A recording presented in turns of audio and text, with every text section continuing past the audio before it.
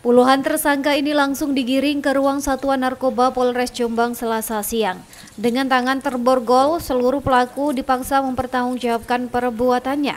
Seluruh pelaku ini terjaring dalam operasi Tumpah Semeru yang digelar selama 12 hari, mulai 22 Agustus hingga 2 September 2022 kemarin.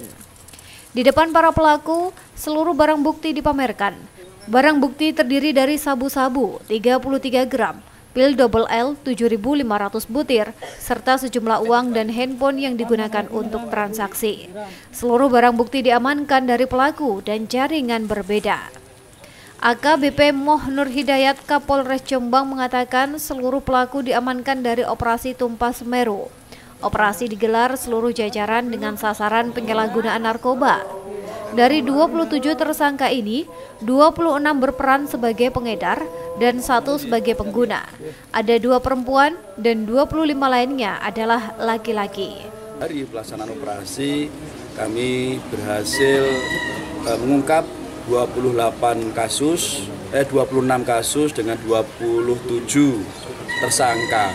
Dari 27 ini, dua perempuan, 25 laki-laki dan dengan barang bukti yang berhasil diamankan yaitu kurang lebih total untuk sabu-sabu 33 sekian gram.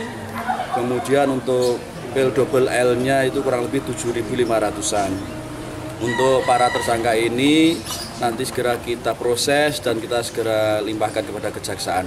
Mungkin demikian.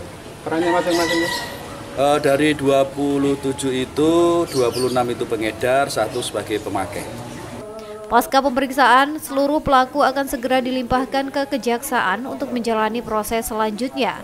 Petugas menghimbau agar masyarakat bisa berperan aktif dalam pencegahan dan penanganan narkoba yang semakin merajalela di kalangan masyarakat. Saiful Mu'alimin, JTV, Jombang.